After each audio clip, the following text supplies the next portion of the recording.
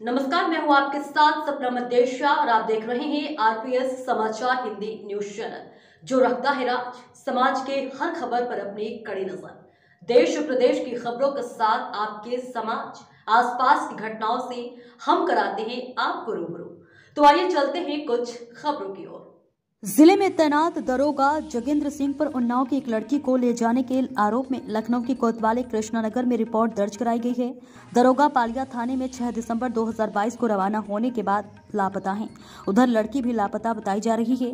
दरोगा की पत्नी ने भी उसके लापता होने की शिकायत एसपी से की है।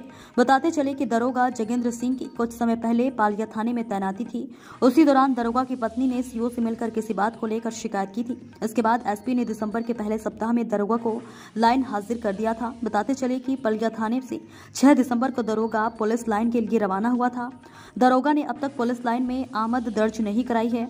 कई दिनों तक पुलिस लाइन में दरोगा द्वारा आमद दर्ज न कराए जाने से प्रतिष्ठा निरीक्षक ने दरोगा की पत्रावली खोल दी है।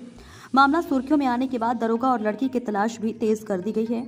लखनऊ से कृष्णानगर के बरीगवा में किराए पर रहने वाली लड़की के पिता ने रिपोर्ट में लिखाया है कि उनकी बेटी पढ़ने के लिए लखनऊ में रहती थी। 9 दिसंबर 2022 को वह घर आई थी। 12 दिसंबर 2022 को वह फिर लखनऊ चली गई थी। इसके बाद से उसका कुछ पता नहीं चल रहा है। लखनऊ में लड़की की सहेलियों से पता चला है कि दरोगा जोगेंद्र सिंह उसे अपने साथ कहीं ले गया है।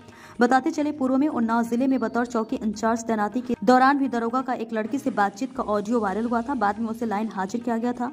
साथ ही सोशल मीडिया पर यूट्यूब पर द्रसिया दरोगा के नाम से दरोगा व लड़की की बातचीत का ऑडियो भी वायरल हो चुका है।